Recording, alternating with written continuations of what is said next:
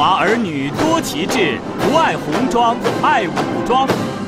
由首都女民兵组成的方队，是受阅方队中一道亮丽的风景线。参加受阅的女民兵中有国家公务员、企业职工、社会青年和在校大学生，他们以蓬勃的朝气展示着首都民兵之花的巾帼风采，用火热的青春书写着对祖国的热爱和忠诚。